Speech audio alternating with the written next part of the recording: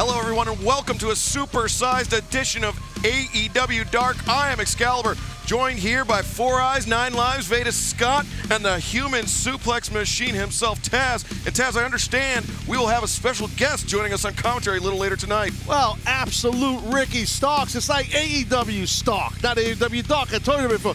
And we'll also have the FTW champ in action, Brian Cage, in this episode. Veda, what are you looking forward here tonight? AEW Stark. Yeah. You had that chambered, huh? Yeah. Uh, I don't know. I am absolutely looking forward to our main event tonight. A huge eight-man tag match. I can't wait to see that. But we got we got Penelope Ford in action tonight. We got Danny Jordan. I don't know. I, I can't I can't make a pick. Is that like an opening monologue that's got to be like three minutes long? In and out, boom, boom, boom. You know what I mean? That's how we roll here. Well, let's throw it down to the ring and Justin Roberts, unless you would like to hear my very lengthy soliloquy on suplexes.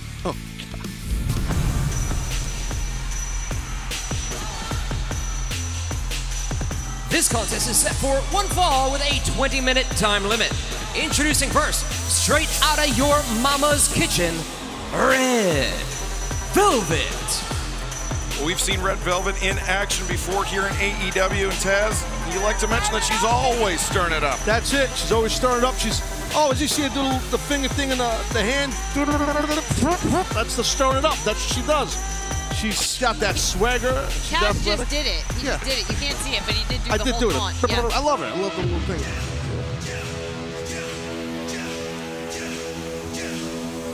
And her opponent, being accompanied to the ring by Dustin Rhodes. From Detroit, Michigan, Brandi Rhodes. A little Brand Brand doesn't get a shout out. Lil Brand Brand, part of the AEW Unrivaled Series 1, available in stores now.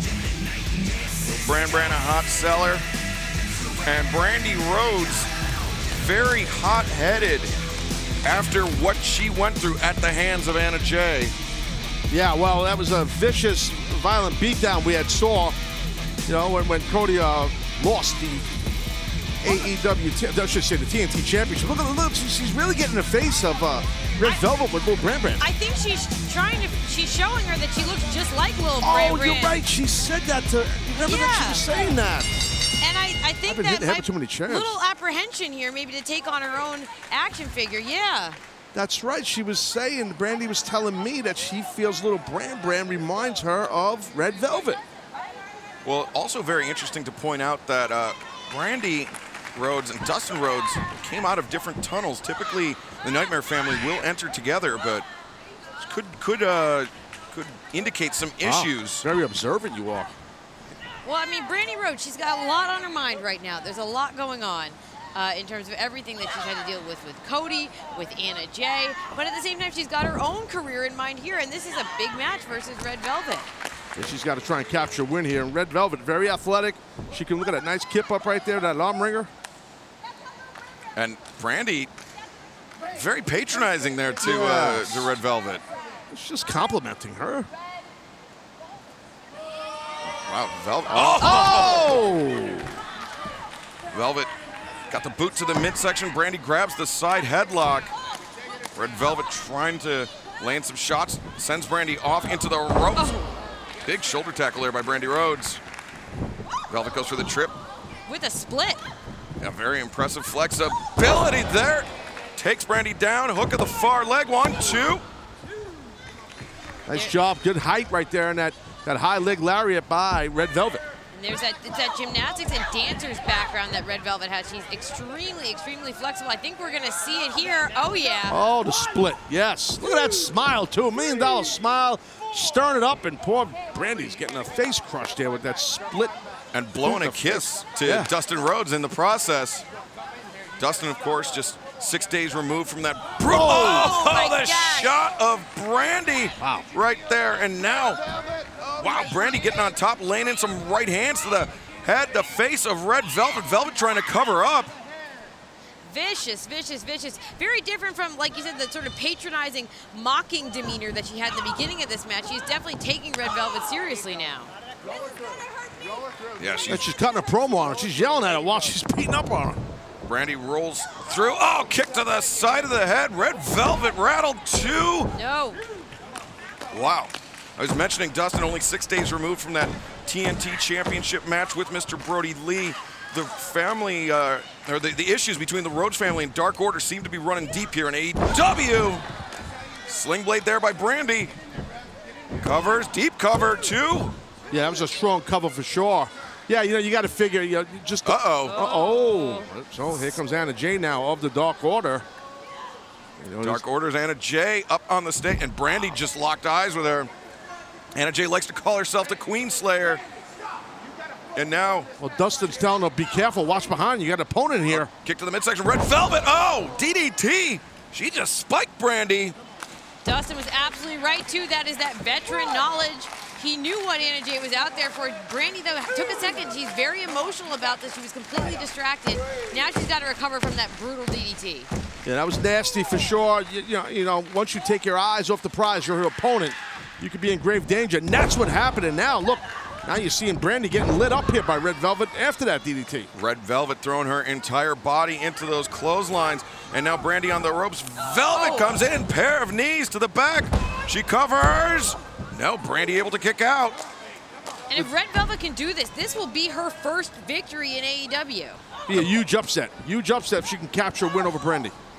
Imagine that beating Brandi, one of the one of the stakeholders in this company, as well as one of the big representatives of the women's division. But Brandi hits that spear with that surgically repaired clavicle being driven into the midsection of Red Velvet. Anna Jay, though, not impressed. Yeah, she's not impressed. And then she got herself a rear choke here. Looks like, yep, sure thing. She's got Anna Jay's choke on. Yeah, that's right. She, Brandi locking in the clean, Queen Slayer, trying to put Red Velvet to sleep. She's got that body scissors on, too. She's out.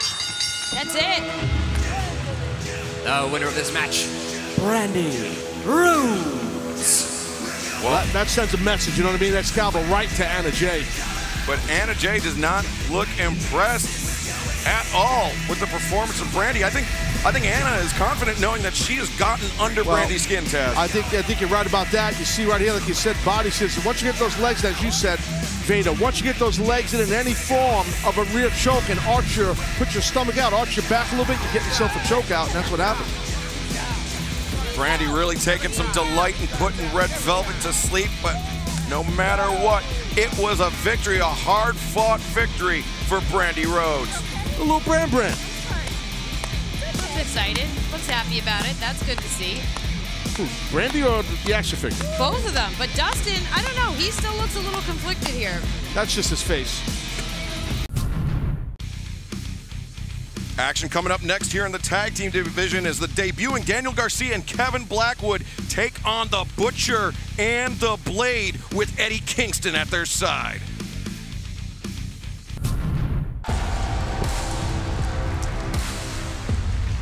This is a tag team bout set for one fall with a 20 minute time limit. Approaching the ring first at a combined weight of 371 pounds, the team of Daniel Garcia and Kevin Blackwood. Well, we are getting our first look at Daniel Garcia and Kevin Blackwood here tonight on AEW Dark and Veda Scott. Very interesting story about uh, Blackwood and Garcia kind of cheating death last year. Absolutely. The, these two men, along with two of their friends, they were in a, a horrific car accident. Not only did they almost lose their lives, I would say at the time they thought they weren't going to have a career at all, and now they're here. They are here competing on Dark, but Taz, they are competing against two of the baddest men in the tag team division. And here they come.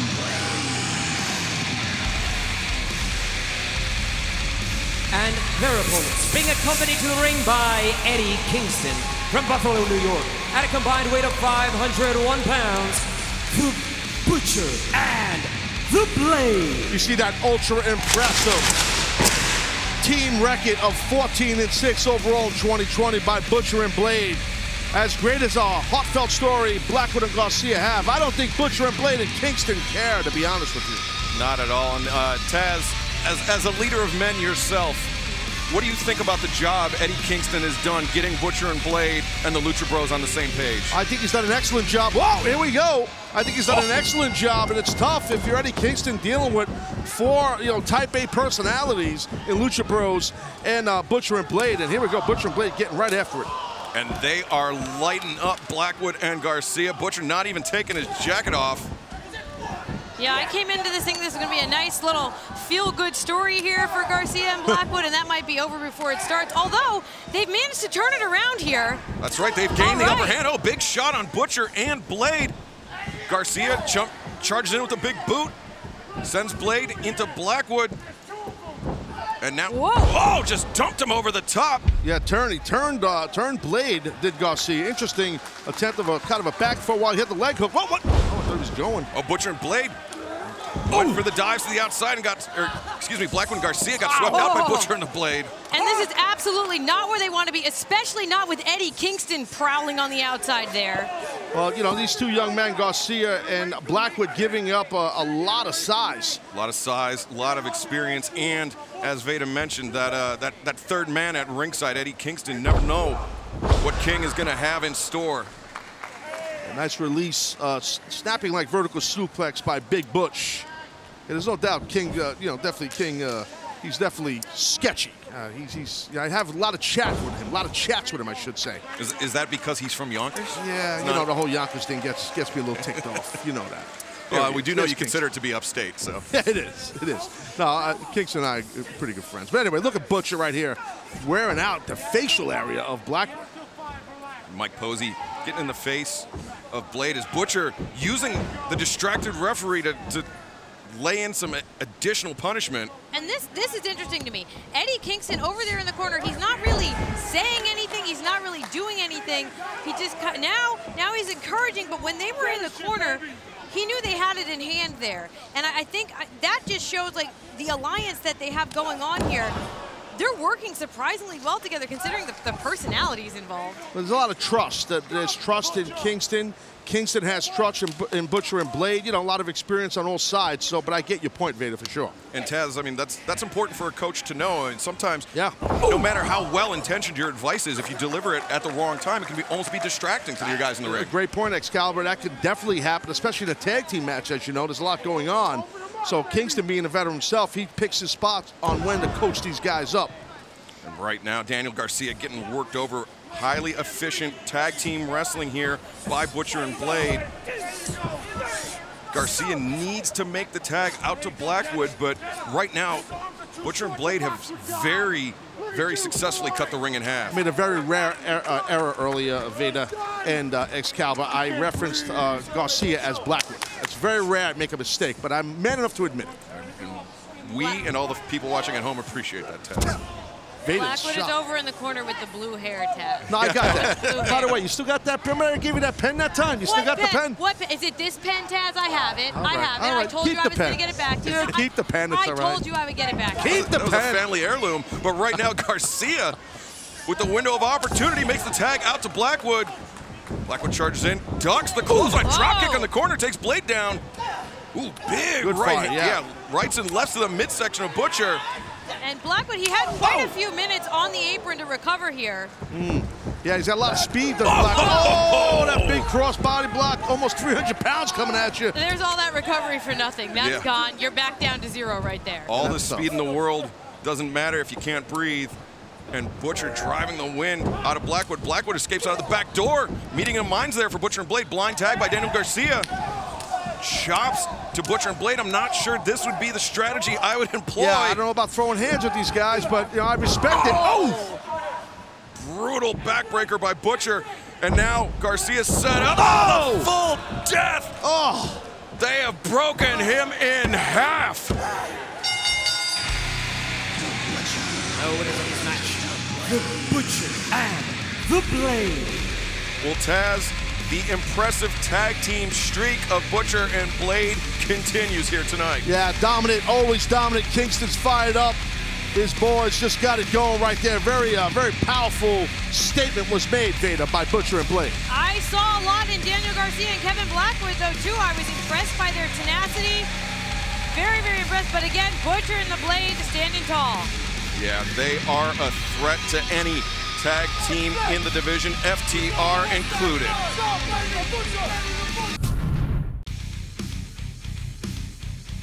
Big match here for Danny Jordan. And she's taking on Penelope Ford and, well, of course, Kip Sabian.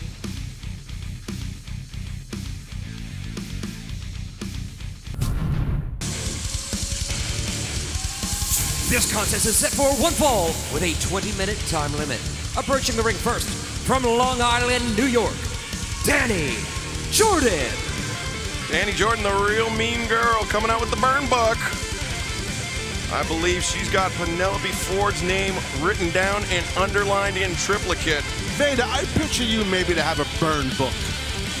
Like, because you're always so nice, and I think it's a little bit of a front, but behind the scenes, you got like some book And secretly, I'm just just. Mm, just burying everybody. everyone. I hope that's true. I haven't seen she. She might have a page for me in there. I haven't seen it. I don't think I want to oh, see it. oh, you it. got heat with a lot of the girls, I've heard.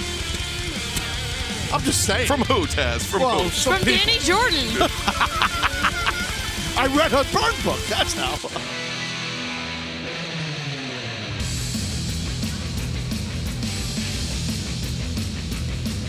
And her opponent, being accompanied to the ring by Kip Sabian from Philadelphia, Pennsylvania, Penelope Ford. Two of my favorite people, you know that Excalibur. Oh, I do. But before this match gets underway, we have to mention not only the upcoming nuptials between Kip Sabian and Penelope Ford, but the debut of the best man last week on Dynamite. Miro Shocking, shocking. coming into AEW at the behest of Kip Sabian.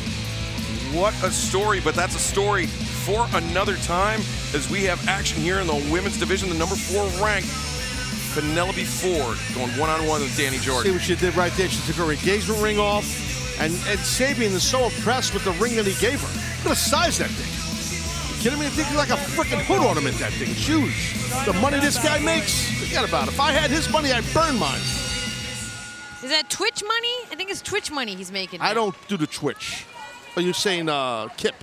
Yes. Well, he's done pretty well as a professional wrestler, dude. I don't think it's just like playing video games. That's what I'm Twitch just is, trying to put over the Twitch thing. He's very into his Twitch stream. Because you Skip want the Sabian. YouTube put over that while people are watching this on. That's what you want. Twitch.tv backslash the Kip Sabian. He wants to be put over on YouTube by all the fans that are putting everybody else over. I try I not to read the YouTube comments in general as a woman in wrestling. That's, that's your So this point. is the bad girl versus the real mean girl. I feel like there's not a lot. I, there, The I think- super bad girl. and the super only girl- I, I got to interrupt you. Uh, the only real heel woman in that match, like true heel, is the ref. but I just I feel like there's more mileage I could get out of Jericho. that. Sorry, Vader. Jesus, One more come on, glued part. Sorry, yeah. Oh, Penelope Ford just pie faced her. So this, honestly, this here might be a battle of who can be worst to each other. I think it's great. Isn't that what it's about, this business? It's about fighting. It's about rage. It's about hatred. It's about anger. It's not about rainbows and butterflies and poodles. Danny Jordan Listen, drop if, kick. That was awfully misogynistic. if I thought there Oh, were going to I be didn't mean to. poodles, Oh, God. Was it really? I don't know. I didn't mean to be misogynistic. Danny Jordan. Oh! Oh! Well, you know if it was when you get the, the email from HR. And Danny Jordan, she was going for a tope there, which uh, in and of itself is a huge risk for her. She's coming off a, a major knee injury. This is this is one of her first matches back at all from that. So it shows how much she wants to win to just take a risk like that. And, you, you know, I mean, to your point, Veda, uh, the tope suicida, that's how Kris Statlander injured her knee earlier this year against Penelope Ford. And so it is a move that's very risky. Cover here. Yeah, because if you, as you're doing that tope suicide, if you hit your, if your foot, your instep catches on one of the ropes, that's all you need, and you crash and burn, knee first on that apron with your knee, you're gonna, you can basically just blow it out. Well, Taz, I actually set Veda up for that question, but thanks for mansplaining. Well, I just, well, I'm not allowed to speak. Oh, I'll just lay out, no problem. I'll be over here. Do you want your pen, Taz? Penelope Ford's got, Keep got. Danny Jordan up on the shoulders. Keep the pen. And I'm sorry, but this is impressive. Jordan, oh! that, The knees to the midsection. Oh! that gut buster just impressive every time I see it.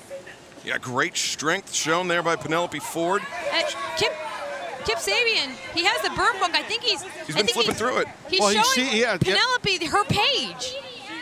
Wow. Oh, you're not supposed to see that, Penelope. Oh, And now, could be that Penelope's got a little extra Oh. fire here. She is pissed off for sure, is Penelope. Super bad girls, angrier than ever. I didn't even see what it said, but it must have been bad. Had to be real Go. bad. Referee Aubrey Edwards catches Penelope attempting to use the burn book as a weapon. Danny Jordan Oh my gosh. rolling Penelope around, hitting her with a series of right elbow strikes. Clothesline takes Penelope off her feet. Second one, Lost the footing right there to Danny Jordan. the waist lock chops Penelope down the thrust kick to the jaw. Danny Jordan in the driver's seat here. Waist lock. She's going for a German, but nice block by Penelope. Arm drags are over. Kind of an arm drag, more of just kind of like a Sayanagi throw, but you like a drop Sayanagi, you would call that, to be honest. Oh, Look that bridge, yeah. into the stunner. Great avoidance. And now, with Penelope in the headlock, or excuse me, Danny Jordan in the headlock, Penelope goes through. Like a like a bulldog right into the corner.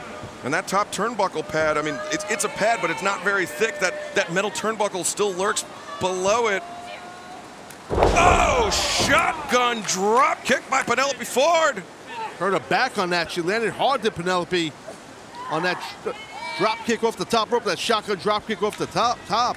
Well, that, that particular move is always a huge risk for yourself. It's very, very physically intense. And now, Fisherman suplex. One, two, three. The winner of this match, Penelope Ford. Well, impressive that Penelope was able to hit that fisherman suplex with that awesome bridge she has after landing on her back and injuring her back off the drop kick off the top. But Taz, she gets so high up on her toes. Is, is there anybody in AEW that hits a fisherman suplex better than Penelope Ford? I, I would say she's probably close to, in the female division, she's definitely on the top. But yeah, she's definitely, she really has a great back arch. You'll see this. right here how deep she is. That's Oh. the key to get your hips in deep. And we've seen her even get a higher arch than that, but I think her back being effective on that drop kick prevented that. But you got the win. And Danny Jordan may think twice about adding any new names to her burn book as Penelope Ford, getting her hand raised, is victorious here tonight on Dark.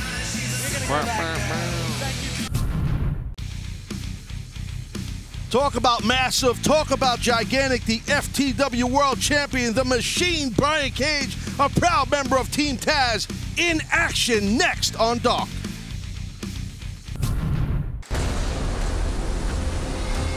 This contest is set for one fall with a 20 minute time limit. Introducing first, from Buffalo, New York, weighing 234 pounds, Megabyte Ronnie. Well, Megabyte Ronnie making his AEW debut here tonight. And Veda Scott, I understand Ronnie, a competitive eater. He is a competitive. He, he is the ranked number 18 in the world competitive eater. I don't know how much you know what he eats? What's he eat? What does he eat? I have a list of what he eats. Okay, he let me has hear it. eaten 27.5 pork roll sandwiches in 8 minutes. That's a lot. 134 wings in 10 minutes. 28.5 hot dogs in 10 minutes. 10.5 pounds of strawberry shortcake in 8 minutes, etc., etc., etc. It's a whole lot of food. Okay. So the guy Ronnie is 236 pounds. Here's a meal for this man coming out right now.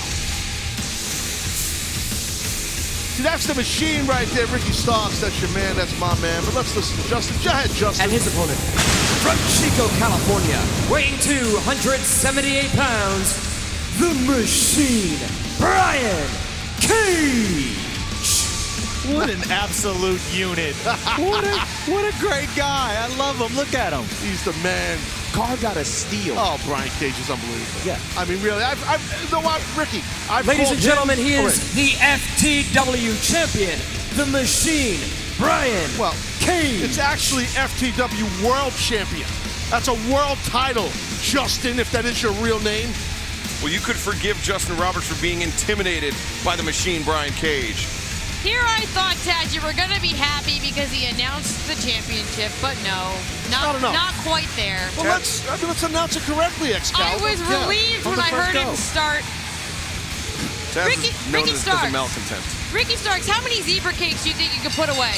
Absolutely none. I don't eat that crap. Come The on. abs like he has, Look at forget about it. Look at the machine, Brian oh. Cage. And look at Oh, Brian Ronnie. go. Ronnie, though, escapes out of the grip of Brian Cage.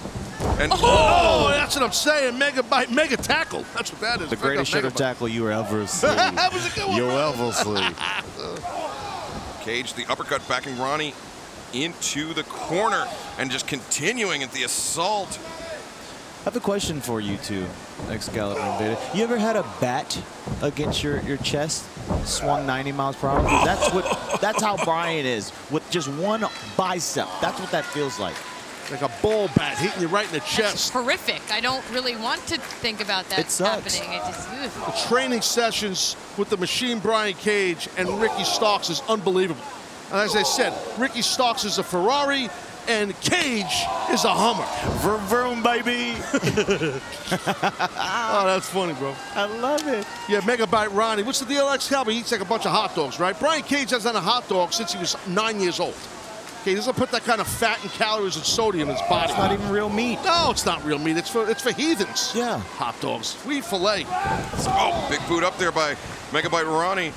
So Megabyte Ronnie is not just a competitive eater. He actually was in the army. He served in Afghanistan, and when I talked to him, he told me that it was while he was dodging bullets that he realized that he's got one life to live, and he's going to do it how he wants to. That's what got him into competitive eating and eventually into professional wrestling. Well, I, I, I, I respect respect, that. yeah, I respect, Respect him that. serving our country. I do, but he's still going to get his ass kicked in this match. Oh. See what I'm saying? Oh, perfect timing with that comment, Ted. Well, it's not my first rodeo, Vader. Oh. Look at that! That was so beautiful. That was some clothesline.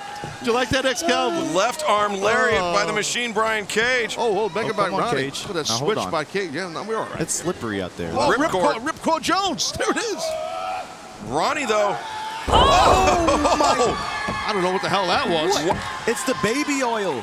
Oh, he's used that new baby oil. The Now, what- what- baby oil. look at this Megabyte Ronnie. He's in his little hot dog pouch. Are you ripping He's me? got a Oh, hot no. dog. That- What the hell is- This dude is actually going to pull a hot dog out during a match.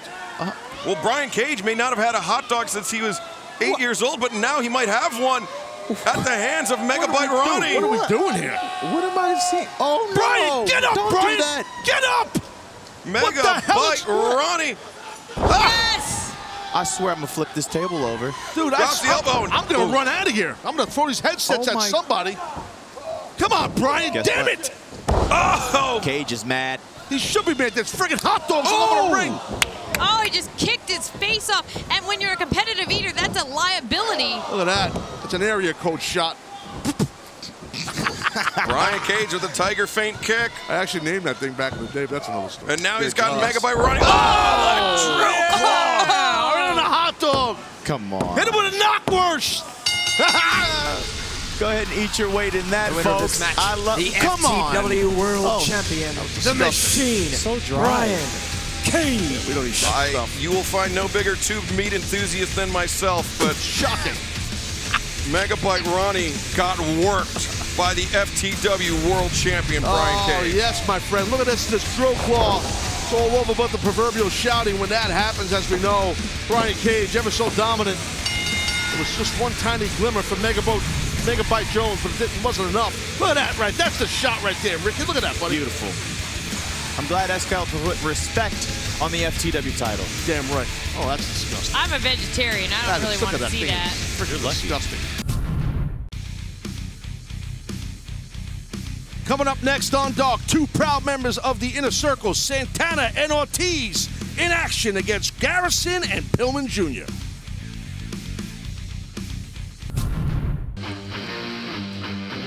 This is a tag team contest set for one fall with a 20 minute time limit. Approaching the ring first at a combined weight of 453 pounds, the team of Griff Garrison and Brian Pillman Jr. We've seen these two men team up a couple times before. They've looked impressive. They seem like they're on the same wavelength, but they are going to have a tough test ahead of them against a very motivated Santana Ortiz heading in to that parking lot brawl with best friends this week on Dynamite.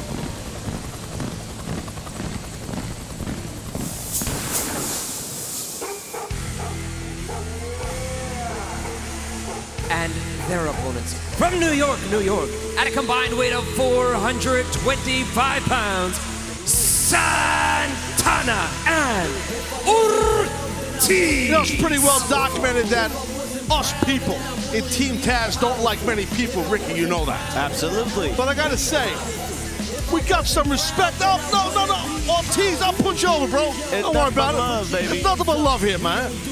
We don't like many people. Yeah. But Santana Ortiz, yes, I think we, we kind of like them. If I was in a bar and I needed two guys to back me up besides you and Cage, hmm. These two right here I'm with you. would absolutely I'm with be my back. You go to those fine wine clubs, man. You're not hanging out I in the like, to. I like to get a little. I've seen the way you roll outside. I mean, Excalibur's never invited, or Veda Scott. That like is to your real my name, Veda Scott. By the way, how's that pen? You still got that pen I gave you? I keep do. It's right about here. I keep trying to give it back to you. I told you I was only borrowing it. Keep the pen, I don't counselor. even want it. Keep the pen, counselor. thief. That's what it is. Santana and Ortiz, of course, are a very established tag team in AEW. They're currently ranked number five, but we see Griff Garrison and Brian Pillman. They're working to establish themselves as a team. If they can beat someone like Santana and Mm. Ortiz, like that, I think would just silence any doubts that anyone might have. But that is quite a task. Yeah, Garrison and Pillman definitely with a, a big opportunity here. We could see if they, how they've coalesced as a tag team, but Santana and Ortiz, for as tough as they are, they are tremendous practitioners of tag team art. And Pillman, oh, little little tap of the tap of the boot to the face of Santana. Well, I'm from the same neck of the woods that Santana and Ortiz are from, and that doesn't happen on the streets. I can promise you that. Maybe that's why Pillman did it. And that's why Santana wasn't really affected. How about that, Dan? And oh, Oh, Santana runs in that big back elbow, and a drop kick to the back of the And head. that's what it's all about. Disrespect. Well, guess what? We got a receipt coming. Huh? Oh yeah. Well, yeah. You know, I mean, that's the thing. You- hey, that's what happens. You can't. You play around with a guy like Santana. He's gonna slap you around. He's gonna catch you. Pillman's a hell of an athlete. Definitely hell of an athlete for sure. As in Garrison. But, stuff. You're giving up a lot of experience here to Santana and Ortiz. Santana dropped him with that open-handed shot. And this week on Dynamite, I mentioned it will be Santana and Ortiz versus best friends, parking lot brawl. Veda, who do you like in that tag team matchup? so if you're just looking, Griff. It was Ooh. a tag right there. Griff There was a is legal, by the way.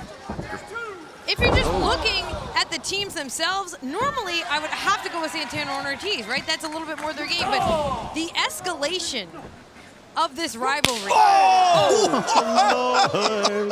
He's has risen. You were saying the Speaking escalation of escalation, of the I rivalry. think they just picked up here. But I'm looking at Trent, I'm looking at Chuck Taylor, and just the, the personal animosity involved in this, I don't know. I'm not taking them They're lightly. fighting for Sue's honor. Oh, big splash in the corner. Ricky, who do you like in the big parking lot brawl? Uh, I'm glad you asked me because I was actually going to step in there. Yeah. I'm telling you, these two, Santana, Ortiz, Ortiz, yeah. Money. Money. There's no doubt in my mind. I should Come talk to. Jericho, see if maybe we could work together. Santana Ortiz with Team Taz. That would be something, boy. I'll tell you that. But Taz, right, AEW Dark is not for networking, Taz. What do you mean? No, it's oh, Yeah, that's- You take take that's that LinkedIn to is for. Twitter. Says the lawyer. That to Twitter. LinkedIn. Oh, gosh. That was funny. leapfrog up and over the top. Oh, the Bulldog driving Griff Garrison into the canvas, and now Oh, Oh. geez. little Oh, Gedo oh, clutch there. One, Yeah. two, no. No. Garrison able to kick out. Here's Gotta where watch. they excel. Yeah, yeah, he's quick, man. Ortiz is quick. You see, he, he, see, he pulled back. He pulled back. He saw Garrison was up to something. That's what you should do, man. You know that, Ricky. Light Don't him rush up. it. Don't rush into it. You know what I'm saying? Garrison holding the back of his head. He's a little rattled here. Garrison's a lot rattled. Gets taken down. Kick right there in the solar plexus knocked the whole wind out you. Yeah, yeah, sure did. And you can see he's holding his, his head. He's nice rocked. gut wrench right there to suplex. Perfect. Ortiz getting low, popping the hips, bringing Garrison over the top.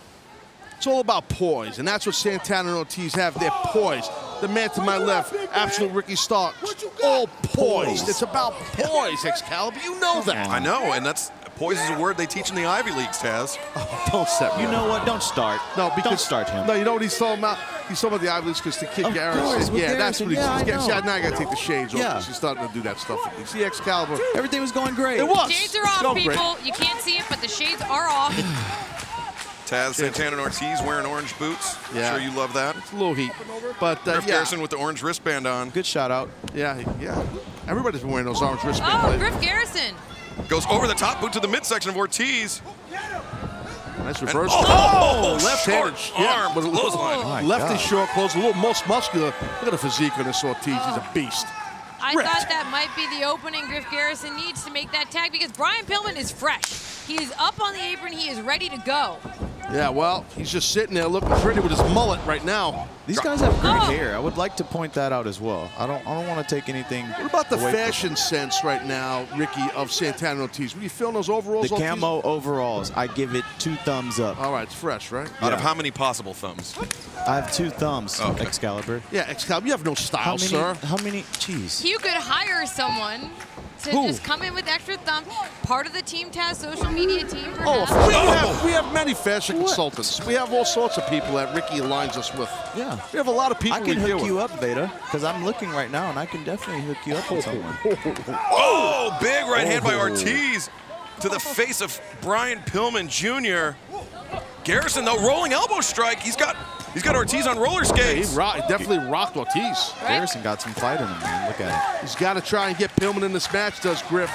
Yeah, right- this is a matter of who can make a tag here. Ortiz is hurting. Very desperate situation, and Garrison does make the tag out to Pillman. Pillman comes in, clothesline, takes Ortiz down. Santana right there.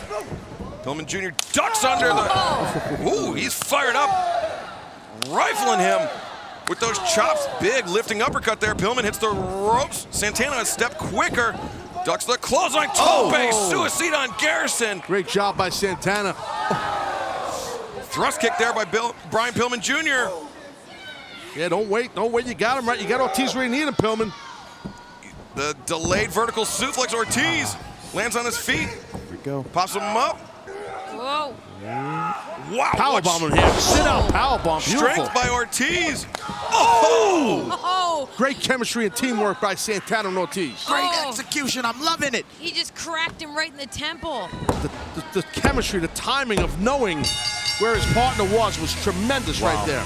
The winners of this match, Santana and Ortiz. Veda, I believe this match was fought with the intent to send a message to the best friends. Absolutely. I mean, I can still hear the sound of the toe of that boot just cracking off his skull. Yeah, well, best friends are going to have their hands full with Santana Ortiz. I don't care what happened to Sue's minivan. Ricky, you would never be in a minivan, right? Absolutely not. We're riding caddies, Catch bro. me in Just a, a caddies. minivan. No, no, I have a minivan. Shocking. Well, best yeah, friends, That makes sense. watch out because Santana and Ortiz are coming for you. Up next on AEW Dark, we have Jesse Sorensen returning to face Willpower Will Hobbs.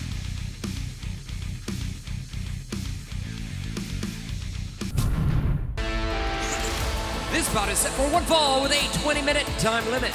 Making his way to the ring from Waco, Texas, weighing 213 pounds, Jesse Sorensen. Big, tough Texan Jesse Sorensen making his return to AEW Dark here tonight. Big opportunity against another up-and-comer here in AEW.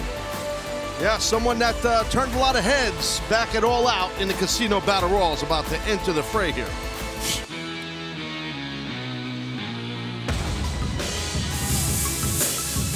And his opponent from East Palo Alto, California, weighing 252 pounds, Will Hobbs. Starks, you're not impressed with Hobbs? Absolutely not. Come on, man. Hold on a second, Ricky. I, listen. The entire, all of Twitter, everyone is talking about Will Hobbs. Twitter? Who gives a rat's ass about Twitter? Yeah, come on, What, Veda. what, what was that? Twitter? What are you kidding me, Vader Scott? Taz, I have seen you do your fair amount of Twitter beefing, okay? Do you think that's me? I hire people to do that for me. Yeah, come on. Give the, it the social program. media team of Team Apparently, te- Taz. yeah, Team Yes, Taz rolls it. deep, apparently. That's right, Deep pockets, baby. Well, I'm impressed with Will Hobbs. but- Excalibur, you're impressed with Will Hobbs. Absolutely. And he, Jesse Sorensen better be impressed by Will Hobbs. yeah, he just got trucked by him, and now Hobbs. Whoa! Gosh. Yeah, he's a big, powerful man, Hobbs is for sure. And Taz, you mentioned that uh, Casino Battle Royale at All Out. Will Hobbs really, I mean, he set the world on fire that night, made a huge name for himself, and then came back a couple days later, picked up his first AEW victory on Dark last week. Yeah, no, he's been impressive. And, you know, uh, listen, It's just gotta stand. Brian Cage, Ricky Starks, they're both very competitive men. So it's tough. It's tough, Ricky. You understand? You're not gonna give much much Li- light to anybody. I will give credit where credit is due. This dude is a, a powerhouse here. Yeah, but yeah. listen, did you see how much I squatted? Did you see how oh, much I did? Oh, no, Come I've, I've- on. I've spotted you. Of course I know. Jesse Sorensen gets the kick to the back of the head on Hobbs, staggers him towards the center of the ring. Sorensen. Oh, no! Oh! Big spine buster right there, man. Speaking of Twitter, that is one of the more gifable moments every single week on AEW I swear Dark. the Twitter Oh, comments give- that get me so angry. You give have no a idea, Ricky. They really get me upset. Give me and a I break, like Vader. Vader. I mean, it's like Hobbs with Jesse Sorensen Oh. hoisted up over his shoulder. Will big Oklahoma Stampede three. Wow. That's all she wrote. impressive. No winner of this match, You know, I'll give him that. Impressive. Hobbs. That was a statement victory by Will Hobbs, Ricky. a statement. I think that's more of a comma there, but whatever. Yeah, I mean, it was impressive. I, I kind of agree with Ricky Starks, Excalibur. You know, it's it was impressive. It wasn't like, oh my God, what a win! It was good. Veda, I thought it was a really good win. I think it, that's that's two in a row now for Will Hobbs on AEW Dark. Right here's the replay. What a spine buster! Two in a row. Do you realize how many victories Ricky Starks has? Come on, two in a row. Seven goes to heaven, Veda. Ah, that was a good one. Seven goes to heaven. I love that. That was good stuff, bro. That was Write good. that one down. I like Well, that. Will Hobbs victorious here. Ricky Starks victorious over simple wordplay. Stay tuned. We've got more action coming up next. Rache Chanel and Skylar Moore team up to take on the winners of the first ever AEW Women's Tag Team Cup Tournament, Ivelisse and Diamante.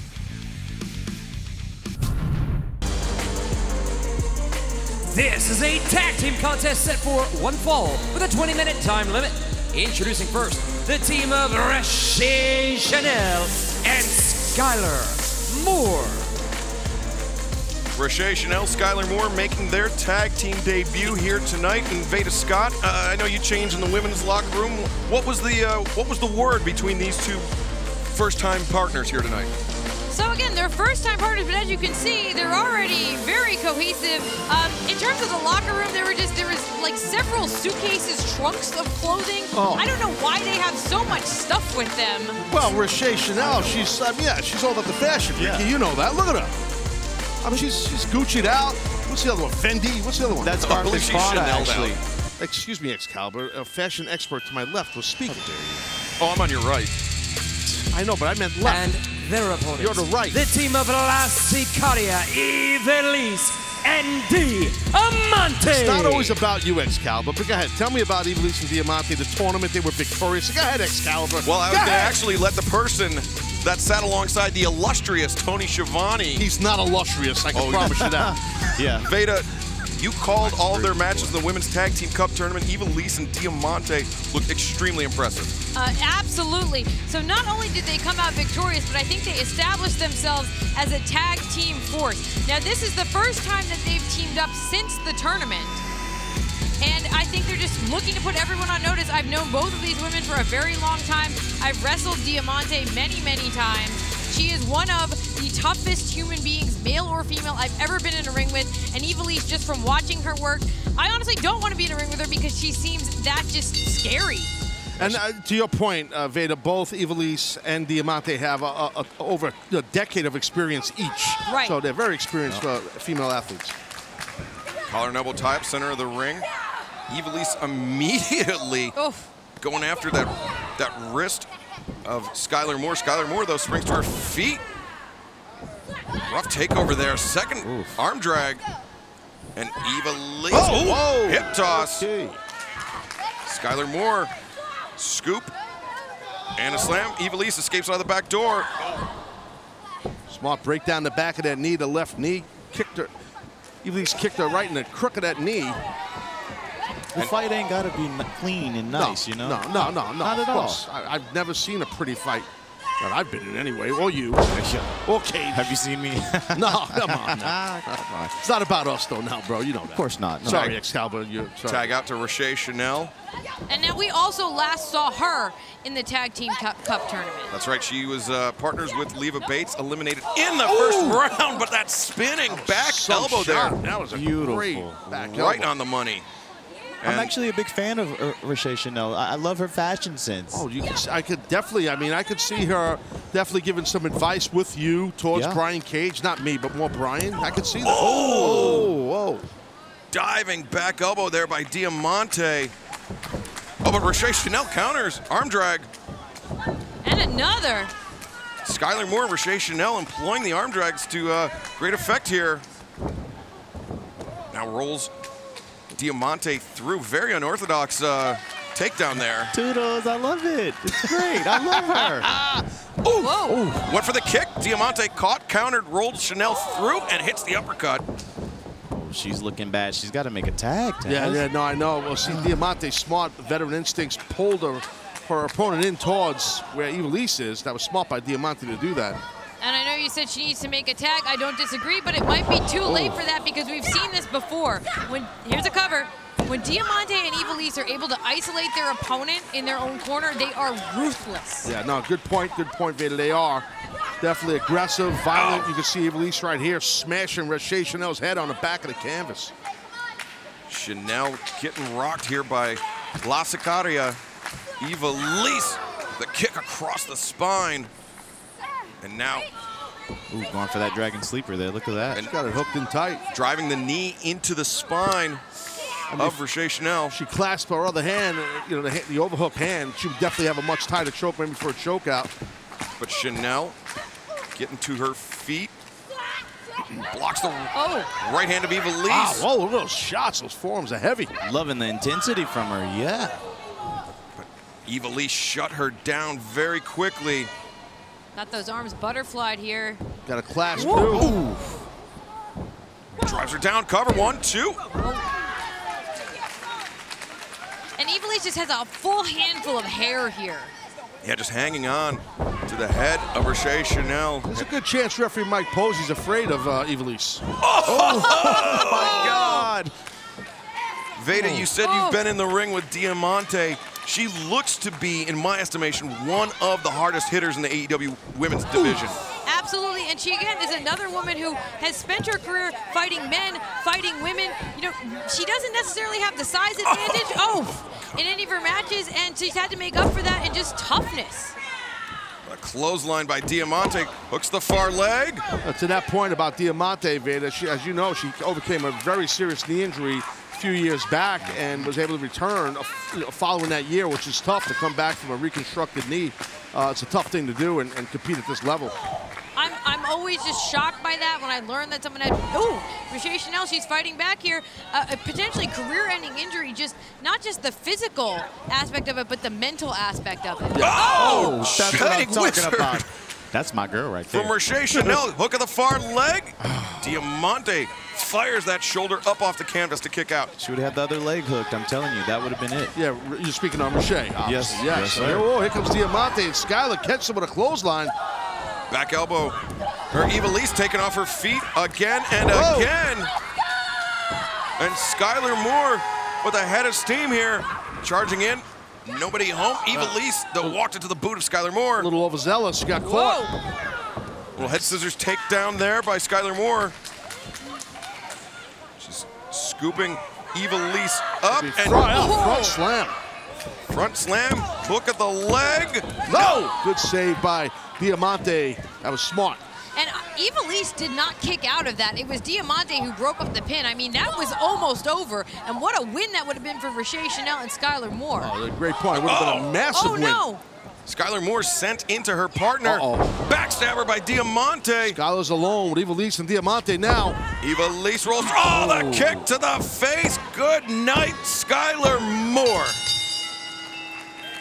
The winners of this match, the team of Ivelisse and Diamante. Will Veda, Ivelisse, and Diamante continue to be a force as a tag team here in the women's division? Absolutely. Both as singles and tag team competitors, it was that same rolling kick that won them the tournament in the first place. Let's see, there's a replay coming up here. Well, you see here just as Skylar rolls through that snapmare oh. and then boom, oh. right in the face. Lights out. Yeah, I'm telling you, that's it, Ricky. Once that happens, you're done. And this week, coming up on Dynamite, Eva Lise will challenge Thunder Rosa for the NWA World Women's Championship. Well, impressive performance by Ivelisse and Diamante. Impressive performance by Ricky Starks making his first appearance here in the commentary booth. Thank What you, What did you expect? Did you expect something less than that? Because I didn't.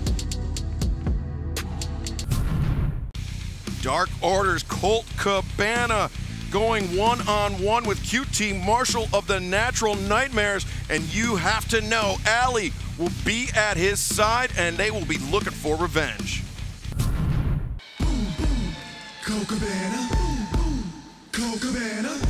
This bout is set for one fall with a 20 minute time limit.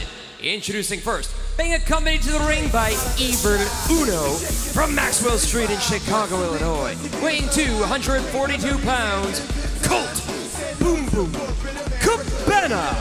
Well, back at All Out in that big eight-man tag team match, Dark Order. Versus, oh, it was supposed to just be ah. Evil Uno, but apparently Mr. Brodie Lee sending the whole Dark Order out. Hmm.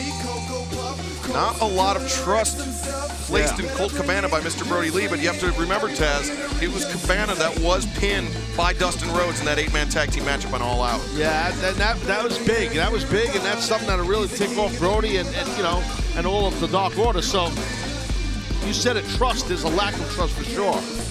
And Cabana looks a little shaken here, but this is a chance for him. This is a big chance to just redeem himself in the eyes of Mr. Brodie Lee. You have to remember, Cabana has, had never seen that side of Dark Order before. And his opponent, being accompanied to the ring by Allie from the Big Apple, weighing 234 pounds, QT Marshall. Taz, that was a risky move by QT Marshall turning his back on Dark Order like that. Yeah, no, no, there's no doubt about it. You see, now he's looking at him, but it was quick. I get your point, but it was quick. And QT, know, he comes out, he comes out like he's humble Jones, but he's actually a very crafty, cagey veteran. Okay, he's from the Big Apple, so that's New York for those that don't know. And he's got a little bit of an attitude, but he comes off like he's humble Joe. He's not. Humble Joe, Humble Joe. Both. Just humble anything. Humble Pie. He's not a humble man. This match getting started. And elbow tie up there. Cabana immediately taking the waist lock of Marshall. Cabana rolling through and dropping QT Marshall down. That's uh, that's the, the British influence on Cabana's style. He spent many a summer Yeah. in the UK working those uh, those campground shows. Sure, and that out, it was an outside drop toe hold, which you don't see much from the back. Nice switch right into a hammerlock by QT out of that side headlock. So these are two guys that know how to grapple, know how to, you know, exchange holds. So this should be pretty interesting. Cabana, Veda, I believe, a little bit more unorthodox, at least to the American audience, than QT Marshall. Right, like you were saying, his his depth of grappling knowledge is things that I think a lot of people that he's in the ring with may not have even seen before unless they've been, been studying very old footage. Right. And that's a huge advantage. Beautiful tijeras there by Cabana taking Marshall down. And you see Allie trying to get Whoa, whoa. QT Marshall focused and back into this matchup. Allie's all over QT. That's a tough uh, relationship they have there. And usually She's Allie, always, she's always disappointed in, in QT. You know, it's tough. To be fair, I think Allie is disappointed in most people. Well, I can fair. relate. I can relate to that. I can relate. I'm, I'm dealing with a lot of people on my left, and I'm disappointed in all of them, to be honest with you. But I digress. oh, we're to your right, actually. oh boy. Cabana Oh back, man. QT Marshall up to the corner. Man, And look- look, oh. oh. And there, there's Stu Grayson. He's he's hitting the ring. And He's lost his temper, Stu. He's like, what are you doing here? What's Oh. going on? swinging a miss by Cabana, but QT found Mark with that right hand. Irish whip into the ropes, back elbow drops Cabana down to the If there's canvas. any little opening for a veteran like QT Marshall, he's going to exploit you, and that's exactly what happened. And, and Stu Grayson lost his temper from the stage area. And it was Evil Uno who's trying to just calm the situation. It, it seems like he's been the most, I, I guess you'd say, su- supportive of Cabana as he tries to, Yeah, to figure yeah, this no, I out. agree. Cover, cover. cover here. Two. And I don't know if that's his own personal feelings or just maybe, I don't know, it's kind of seeing like the long game here. Well, you, know, saw you saw when Cabana popped up on the middle rope, went through the legs of Marshall. He actually looked up at the stage Yeah. for approval from Dark Order, and that act, that's what, that cost him. That's why he caught that drop kick. And you're, you're trying to recruit new members. You want to, oh, hold on. Hold on, here's five and ten. Oh! And finally, Cabana taking advantage of the the opportunity presented to him by Dark Order. Cover here, hook of the far leg, only a two count for Cabana. That's an old school splash you might see if you're watching wrestling from 1932. Right Might there. call it a Matt classic. Yeah. Uh, Yeah, what's Matt Relic, that type of move. Not even a classic. Cabana driving the point of the elbow into the head of QT Marshall. The new trunks by QT in the back says NN, Natural Nightmares. It's tough to see because, as I pointed out, he's been to Vegas. Remember that line? I don't want to bring it back. We have a lady at the table. Look at QT, though. Uh, Cabana also with some new attire here. Oh! Whoa, what the? Oh. Crazy shot. Oh, look at that elbow. Rocked him with the elbow after that hammer throw into the corner. Cabana covers. Two. Cabana knows better than that, Taz. Yeah, he does. You, you can't have a lackadaisical cover like that. But sometimes, now there's a cover. There it is. That was a lot deeper that time. Yeah, sometimes you cover someone just to have them exert energy. You know you're not going to get the win. It's just it's strategy. I mean, a lot of people don't realize that, but it is sometimes. I don't know if that's what Colt was doing. Maybe he was. Maybe he was. I'm not sure. Oh man, that the point of the elbow into the oh into the the, the traps of uh, of QT Marshall, and now can't tell if it's just a, a nerve hold or if he's he's grabbing at his traps and just squeezing like a nerve hold, which, as you know, can knot up real easy, especially when you elbow someone there a few times. QT here trying to fight out of that. The look on Cabana's face, though, it's it's aggressive, it's frustrated. Obviously, he wants to win here. That's that's why he started associating with Dark Order in the first place. But he also has, metaphorically, Mr. Brodie Lee looking over his shoulder right now. and you have to remember that it was it was all going so well for Colt Cabana. He was winning. He put together an impressive series of wins until All Out came along. Right now, QT's in a bad way. He's got to try to turn his body and face Colt Cabana. It looks like an easy move to get out of it. It's actually not. Oh, nice. And Cabana using QT's momentum against him, Oh. the digging right elbow. Beautiful shots. Cabana reverses the throw to the rope. Oh. Big tackle Yeah, there. flying shoulder. Manhattan drop from QT Marshall. The scoop and the slam. Colt Cabana. He's down and out and hurting, and QT, he's going up top. You don't see QT fly much. Let's see what happens. But before QT went Ah, up there, he surveyed the Dark Order on the stage. Whoa! Diving back elbow by QT Marshall. He's feeling it. He's feeling it. And you see Evil Uno not happy at all about this. Oh, he's he's calling for it. Oh, the cutter, diamond cutter. He goes. Oh, Cabana rolls Marshall through. Went for the elbow. Oh, backbreaker. Flatliner combination. Cover two. No. No, very, very close though. And you know, we've seen time and again with Allie out at ringside, although she can be a little aggressive with her encouragement, it makes QT take risks. Oh, he's it in makes love with her. Try new things. He wants to impress her, Vader. He loves, he loves Allie. He's obsessed with Allie. It's obvious. I don't know if Allie gives a rat's ass about him. My opinion, just my opinion on their love life. Oh, Cabana. Series of right hands to the jaw. Flip, Oh. flop, and fly. There's QT Marshall on roller skates right now. and again, Cabana looking to the Dark Order for ex- uh, uh, instruction. Oh, got caught. Went for the flying apple. Oh, Instead, Marshall counters. No. Allie thought the victory was going right to QT. She was counting along with the ref. And it was it was in that time when Colt was looking at Dark Order asking, "What- what do I do next? That it gave QT the moment to take advantage and reverse that. Went for the diamond cutter. Nice counter by Colt Cabana. And look hold at on. the Uno. And What the? Grayson. Oh, look. Ref, ref is ref steal maneuver. Oh, my God. A thunderous knee strike by Stu Grayson. Oh, and he just leveled QT. Referee had never seen what happened. What a shot that was on in the face area of. Oh! oh! man. And there it is, the rolling clothesline. One, Just like two, Brodie Lee, three. man. Just like Brodie Lee. The winner of this match, Colt Boom Boom Cabana. Taz, you're exactly right. That discus clothesline, just like Mr. Brodie Lee. But Veda, it was that knee strike from Grayson that really set Cabana up for success. Absolutely, and, and- and the referee Paul Turner, he, he didn't see anything. Here comes a replay of that. Oh my gosh! Just drove his knee right through his face. There's that discus clothesline, and that's it. Taz, you may, well, you might like their methods. Other people may not. But one thing you can't argue with is Dark Order. Deadly effective here tonight. Yeah, no, I respect it. I respect what they do. I respect that they work as a unit and they all stand as one. You know, you argue with the numbers? Just a few weeks ago, they solidified their union as the initiative, but now things have broken down between Peter Avalon and Brandon Cutler. They will go one on one next here on Dark.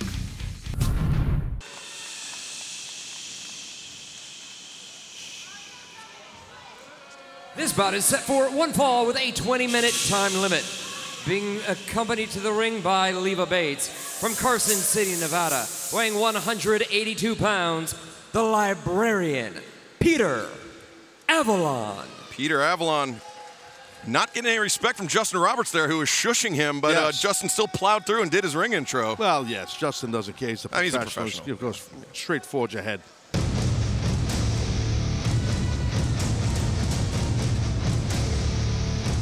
And his opponent from Rancho Cucamonga, California, weighing 192 pounds, Brandon Cutler. What's with the, uh, I know Excalibur, I'm sure you know all about it, or Veda knows. What's with the gimmick mask? What is this mask? What is this supposed to be? Um, help smart me up. Uh, it's a dragon mask, Taz. It's a dragon mask, Taz. Oh, wow. That, For somebody that must be doesn't- an echo in here. For somebody that doesn't visit the pay window, has never visited the pay window, Right. Brandon Cutler's gear gets more elaborate week after week. Does I love his gear? I just don't know the backstory of it. No, it's, it's, it's it looks really cool, but right now he and Avalon, who were oh! oh. They used to be buddies. Used to be partners. teaming up as the initiative now, going at it. Hammer and tongs here. Well, right now, Peter Avalon, who has actually the worst record in AEW, 0-26, where Cutler is second to worst with 0-25. Well, one of these Just two men, over, yeah, yeah, no, over, one, yeah. one of these two men will end their losing streak here tonight.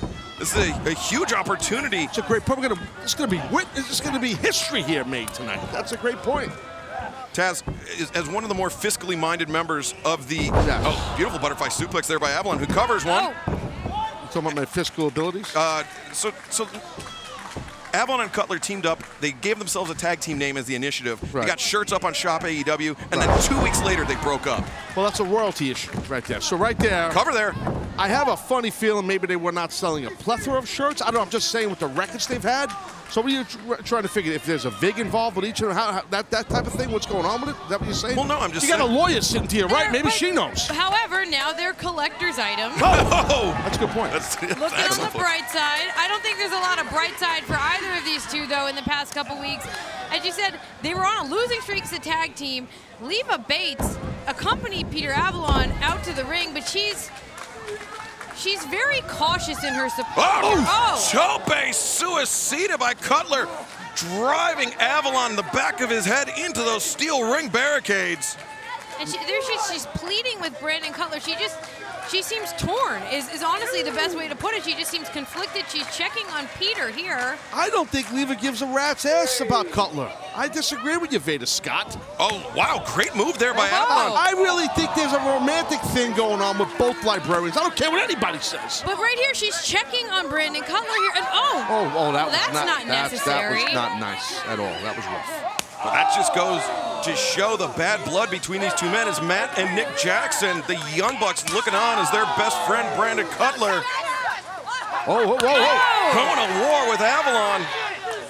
And really, the dissension in the initiative, it didn't stem to me so much from the losing. I'm sure that was a factor, but the oh, fact look at- that look at Avalon. Oh! Tope there by Avalon after the momentary distraction But from Leva Bates. Unintentional distraction, I think. It's just, I, I can't figure this out, these dynamics here, because I don't think the dissension in the initiative was necessarily because of the losing. I Oh. think it was because Peter Avalon was willing to do whatever was necessary, and that is just not Brandon Cutler's game. Swing and a miss there.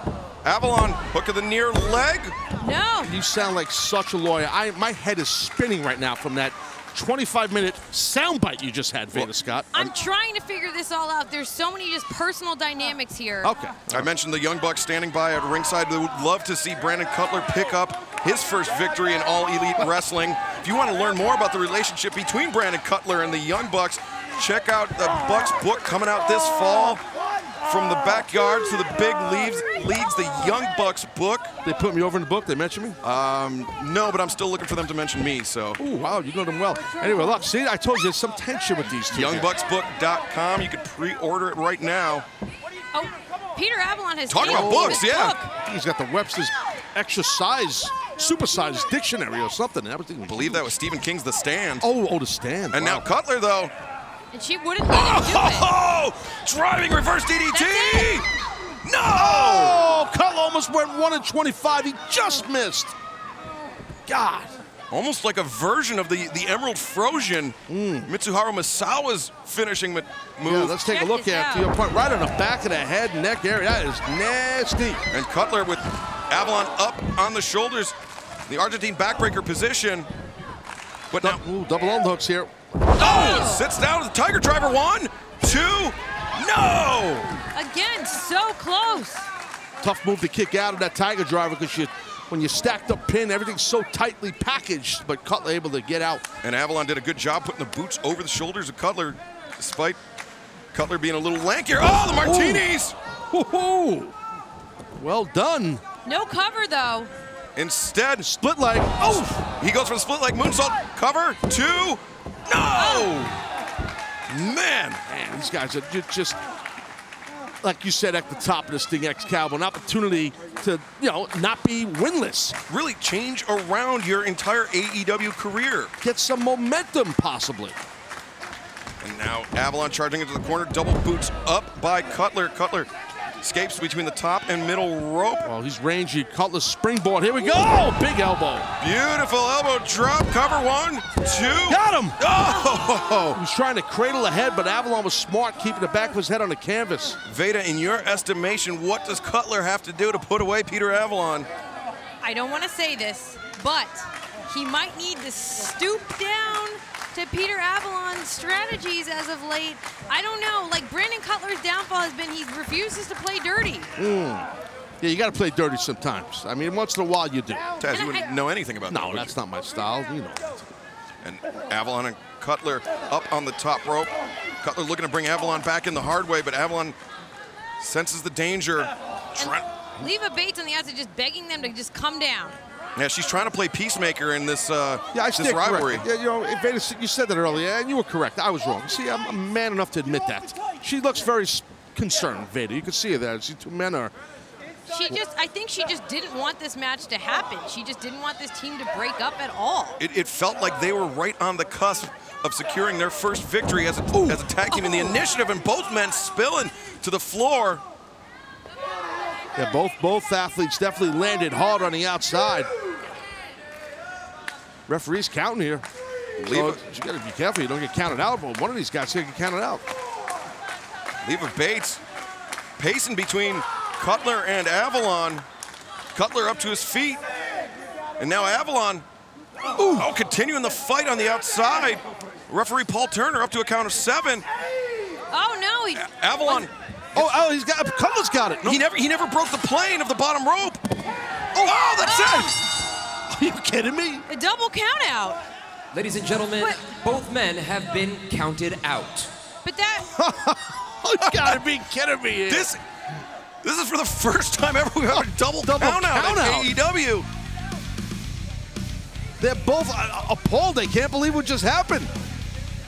Both men looking for their first victory, but both men cost each other the opportunity. Both men still don't have a victory. and Leva, Leva just trying to end this, and Avalon walking off without Leva Bates by his side. but but Cutler just walked off too. Oh, And uh, Vander, go give her a hug. I Leva don't- Bates left alone in books. the ring. Get a books for her. She'll hug a book later on.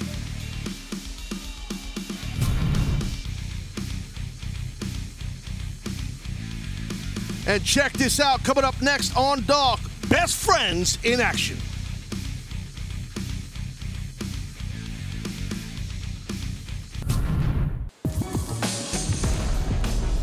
This is a tag team match set for one fall with a 20 minute time limit.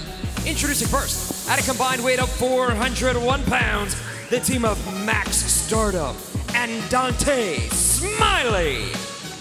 Getting our first look at Max Stardom in the front. Dante Smiley in the back. And oh man, Taz, that's a jacket to wear on a night like this. Yeah, that, I mean that type of full type of mink or raccoon, whatever that is, that's what you want to wear in this kind of heat.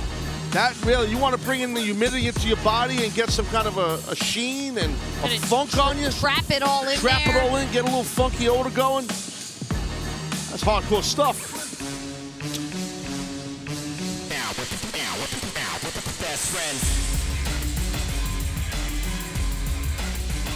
And their opponents, at a combined weight of 418 pounds, Chuck Taylor, Trent, Best Friends. Well, best friends, looking intense, looking fired up.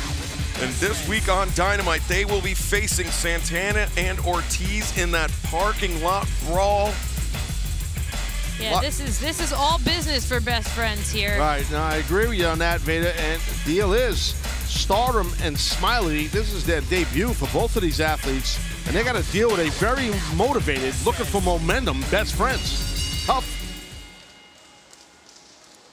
Yeah, tough, uh, tough card to draw. If you're Max Stardom, collar Noble tie up there. Chuck Taylor back at Stardom up into the ropes. Well, Chuck and Trent going into this parking lot brawl, they absolutely cannot afford to lose.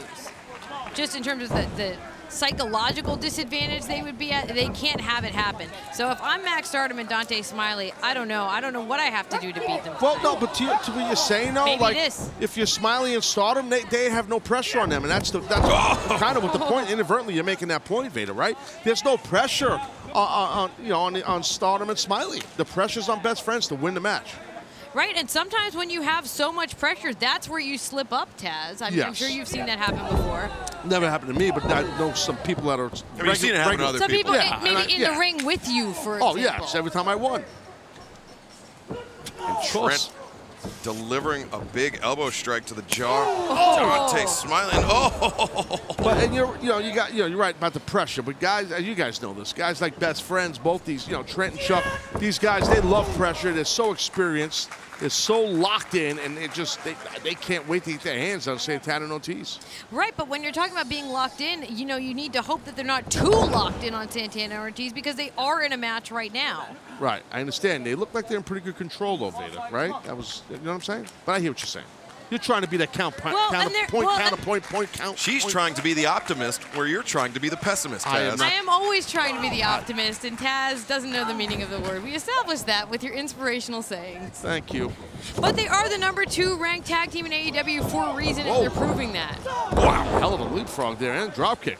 Tremendous leaping ability there by Dante Smiley, who's uh, instead of capitalizing on Trent, he's uh, trying to uh, trying to bask in the moment, which is a strategy that Oh. backfired. Got caught. That knee strike, that running knee was whoo, heavy, heavy by Trent. As you know how those boys from Strong Island roll. Oh yeah, no, I, I, so Trent, he's from the Suff, Suffolk County, which we call Scruffick County, a little scruffy, scruffy out there, bro. Trent loves when we call it Strong Island, He knows Scruffick County. He knows what I'm saying. and his mom Sue does as well. There's a lot of people with minivans out there in Suffolk, by the way. Is that what the, the scruffy people drive as minivans? Yeah, beat up old minivans like Veda. Oh! I will have you know that she owns a 2006 Plymouth Sundance in pristine condition. All right, let me told tell me you she had a something. Veda. You told me you had a freaking minivan. You never know when you're going to need to haul something, All right, Excalibur. all right. It's a handy vehicle to have. I'm not not disparaging minivans. I'm not Taz. Put the seats down. You could do some some pallets of plants. You never know. Hey, listen, Chrysler wants to give me a free vehicle. I'm all ears. Yeah. Minivan, scooter, don't even care. And look at this though, Trent. Trent taking his time here.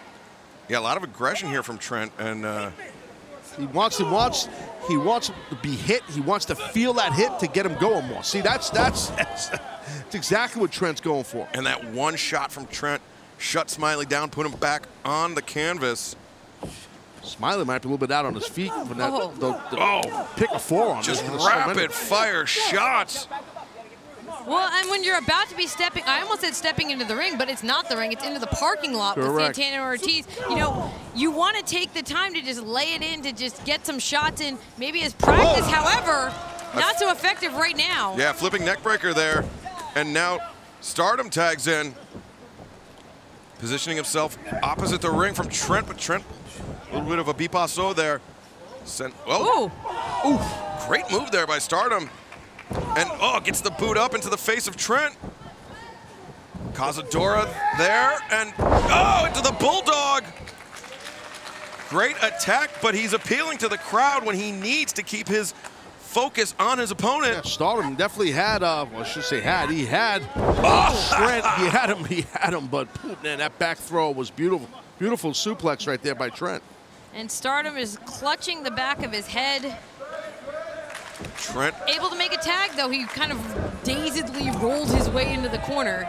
Trent changed things around, changed the fortunes of his team on a moment's notice. And Dante Smiley sent to the outside by Chuck Taylor Follow, uh, Chuck's following him out there. He's not done. and sends Smiley into the barricade. But you know, again, get some reps in for a oh! oh! oh! Spear was heavy, man. What a spear. The best friends are looking aggressive. They are looking focused. And Chuck Taylor charges in, back elbow. Tag out to Trent, the legal man. See right here that Oh spear gosh. assisted by Chuck. Great hit, just a full hit. And now inside Trent. the ring. Oh, that half and half. Oh, Soul man. Food half and half combination. And Chuck Taylor said, Santana Ortiz, that's coming for you. Dante Smiley nearly got a full rotation of that Oh, suplex. stuff pile driver. And Trent sits out the jumping pile driver. Cover. One, two, three. The winners of this match. Best friends. You saw another level, guys, of intensity by the best friends right there, and we alluded to it throughout the match. They're going into out of they're going out of their element on Dynamite against Santana Ortiz in that parking lot. So they have to go to this level of rage, of violence, of intensity. We just witnessed it. Look at their eyes. Look at Trent just Oh, yeah. staring directly into the camera. Taz, you're exactly right. That that parking Oh. lot brawl is not a place where No. either either Chuck or Trent are comfortable, but they know they need to rise to the occasion if they are going to be able to stand toe to toe with Santana and Ortiz. Well, the things that Santana and Ortiz did to Sue's minivan, what they've said about Sue, yeah, I mean, it's just some heavy stuff. So this thing's gonna get crazy on Dynamite in that parking lot. Yeah, cannot wait for this week's edition of Dynamite Parking Lot Brawl. Santana and Ortiz, Taylor and Trent. And tonight in our AEW Dark main event, it's the Dark Order taking on Billy and Austin Gunn, and they're teaming up with Private Party. Join the Dark Order. This is an eight-man tag team match set for one fall with a 20-minute time limit. Introducing first, at a total combined weight of 813 pounds, Stu Grayson, Evil Uno, John Silver, and Alex Reynolds. Dark Order. How impressive did Mr. Brodie Lee look last week on Dynamite when he defended the TNT Championship against Dustin Rhodes? Uh, super impressive, and it really was. Uh, he's just dominant. It's going to be so tough to dethrone Mr. Brodie Lee of that TNT Championship. And you know, a lot of pressure on the Dark Order team members here in this eight-man tag team matchup. Mr. Brodie Lee, love for them to keep up the winning ways.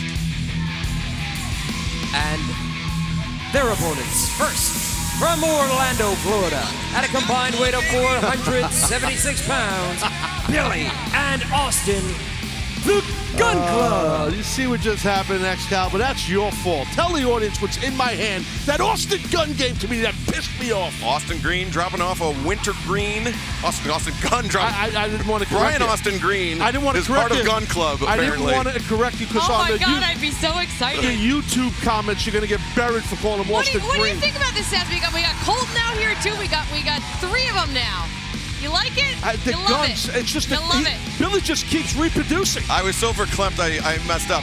Austin Gunn dropped off a piece of wintergreen gum to Taz. Yeah. Taz is now officially a part of Gum Club. Yeah, we'll fix it in post. Oh my god, is that private party? chewing the gum. Uh, I've never done this before through co- commentary. I'm gonna probably spit it out. Go through the Joining them from a location where you need an invitation. At a combined weight of 24 ounces of vodka cranberry, Isiah Kassidy, Mark Quinn, Private Party. Well, I was wondering how Austin and Billy might coexist with Private Party, but based on their reaction to the entrance alone, uh, I think they're going to do just fine.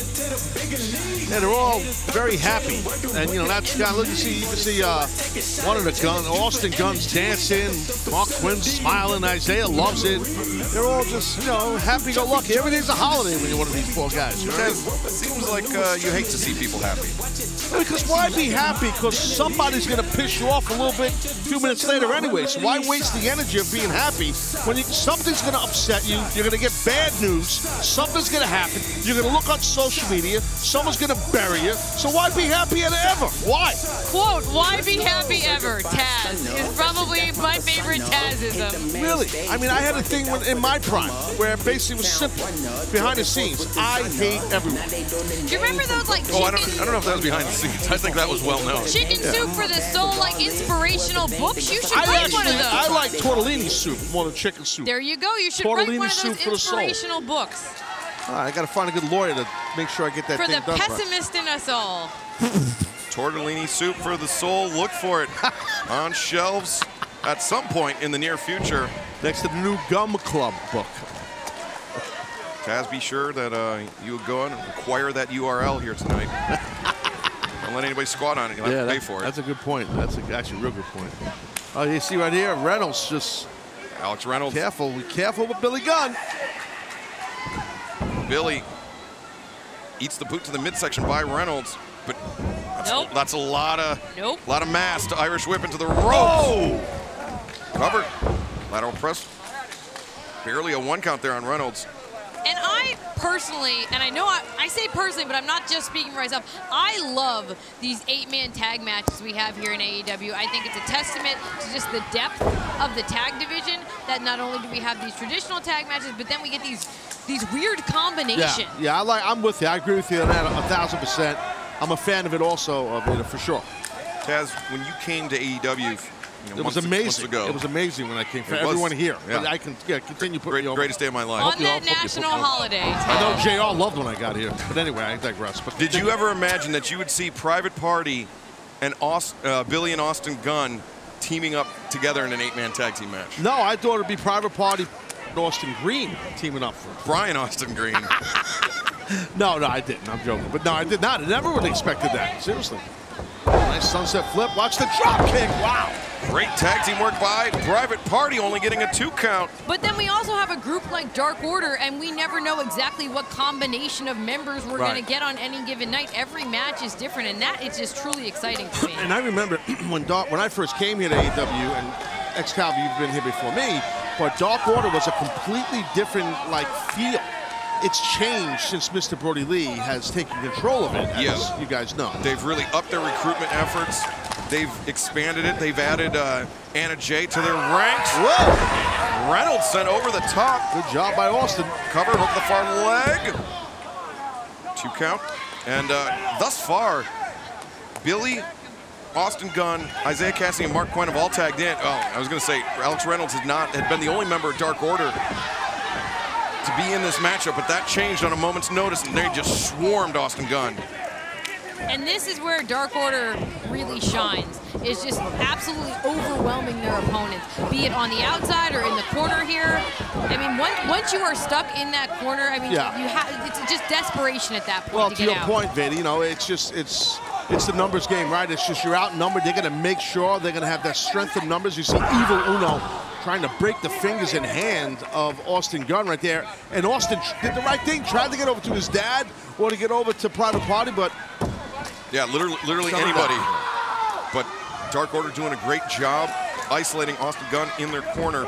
And th- the thing about Dark Order is you have Silver and Reynolds, who are a very highly efficient tag team, and then you also have Uno and Grayson, who are oh, Oh, look at that backslide, backslide, yeah. cover, only a two, and For, for Wow. my money, Uno and Grayson are one of the best tag teams in the entire world, and they have been for a very long time. We're seeing it now uh, more and more. But I mean, just to have, like you said, those two established teams, plus we have five and ten that are starting to establish themselves as a tag team.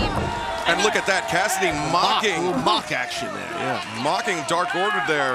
That uh, that claw, that fist, I'm not sure. And uh, look at Billy and Austin Gunn getting into the. Yeah, they're doing the uh, the uh, the Dark Order pose. See, Billy's trying to get it down. Billy's always he made a career of making fun of people and mocking people. That's what he does. He's, he's a bully. I mean, in my opinion, that's just me. You would know better than anybody else. Oh, look at that, I Tiara. spent a lot of years in locker with that guy. Trust Oh me. no, I meant because you're a bully. Oh, oh, what the Oh. hell was that comment? All right, watch out. John Silver, the Oof. kick to the spine of Mark Quinn. Quinn ducks under the clothesline. And oh wow! Elevated up and the drop kick takes down Alex Reynolds. Elevated up and caught him with a shotgun drop kick, and watch. Oh. Stu got lit up with that knee. Quinn almost with eyes in the back of his head. As Evil Uno there, grabbing the leg of Mark Quinn. Referee is with John Silver right now, and referee did not see what just happened. Yeah, Reynolds with that, that elbow strike sending Quinn out to the outside. But that's that numbers game, Taz, that Yes, you're talking yes, about. yes, exactly. Pinfall Quinn able to kick out. They're just such cohesiveness with the Dark Order. And as uh, you know, we've all been chatting up here during this match that you know, how often do you see the Gun Club team up with you know Private Party, right? Right. So it's like that, that there's going to be a lack of cohesiveness there. And, and the other thing you have to keep in mind is that Dark Order are wrestling this match to to keep Mr. Brodie Lee to stay in the good graces of Mr. Brodie Happy, Lee. word is happy, Yeah. right? Big elbow drop by Grayson. Cover two. No. You saw how Grayson laced his right leg in there. Cover again. And to your point, uh, Quinn was smart enough to bring his knees in because he knew, he felt what Grace, Grayson was trying to do. It's the best way to pin a guy when you cradle up his leg, legs with one arm and one leg at the same time, or both legs. You see another look at that. Grayson Oh. elevating high, dropping that elbow across the throat. Cover two. Love that shot. I'm so glad uh, our director and production team listened to me when I told them about that in a meeting that we should do that shot. They're great listeners. Our, I'm running things around here. Silver, Silver using his entire body weight to try to make that cover. but then did a great job when uh, when Quinn kicked out. He used the arm of Quinn to transition him down onto his stomach. You got to be careful of John Silver when he, he's behind you. He'll catch you with a choke. He's also lethal kicks. Powerful, stout young athlete. Right hands to the ribs by Mark Quinn. Backs up and look Oh, at that. like a bull. Just bull rushed him, yeah, back to the corner. Yeah, nothing pretty there, just anything to get him back into the corner. But those are the tag team ins- instincts of Dark Order, of Silver and Reynolds, Veda. And, and just right there, any momentum that Mark Quinn had gained, it's gone.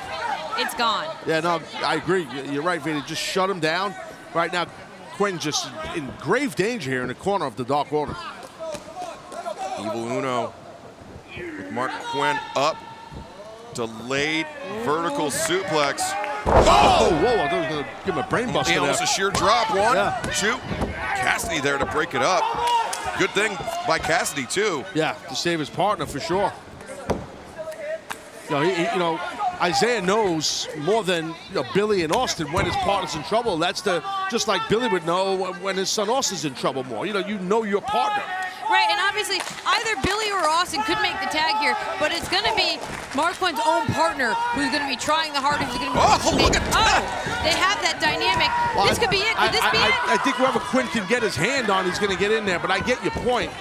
But again, No. great tag team instincts by Silver and Reynolds, diving on the legs of Quinn to prevent him from tagging. Smart right there. Uno not wanting any piece of Billy. But he eliminated two men off the apron of that team. That was smart by Evil Uno. Trying to bait Billy into the ring and ref- referee Edwards I preventing. wonder. I wonder if they ever talked to Billy about Dark Order. Who's they?